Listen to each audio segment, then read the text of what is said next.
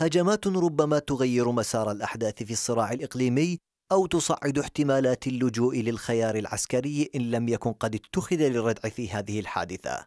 فاستهداف المنشآت النفطية السعودية ليس استهدافا للبنية التحتية السعودية فحسب بل يتعداه إلى تهديد أمن الطاقة العالمي.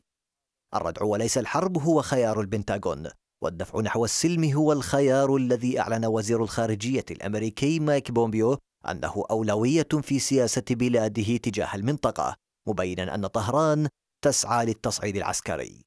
وفي الوقت الذي ترى فيه واشنطن أن لا مصلحة لها بالتورط في حرب جديدة في المنطقة لا سيما مع اقتراب الانتخابات الأمريكية وتأثير ذلك على القرارات المتعلقة بالسياسة الخارجية فإن الحرب الاقتصادية التي يقودها الرئيس دونالد ترامب للضغط على طهران بالتزامن مع دعوته المفتوحة للحوار تصب في مساعي دفعه الإيرانيين إلى الدخول إلى المفاوضات تحت الضغوط القصوى.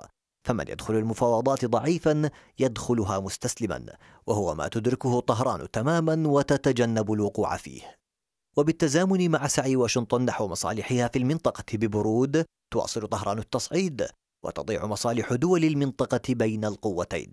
فالرياض كانت تنتظر ردا أقسى من العقوبات الاقتصادية على طهران.